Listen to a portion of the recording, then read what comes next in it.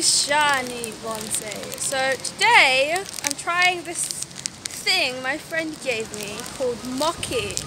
It's strawberry flavors. Just hold on one second.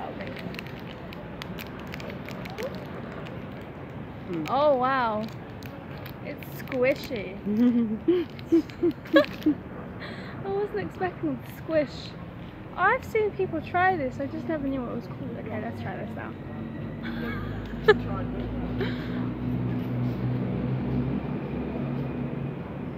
I love this stuff. I have seen the face of God. Hmm? I have seen the face of God. At least now you know where to get it. hmm This is the best thing I've ever had. It's like two pounds something for the bag. The packets that I've got in there as well are about the same. This was me trying Mochi. I'll see you guys next video. Bye.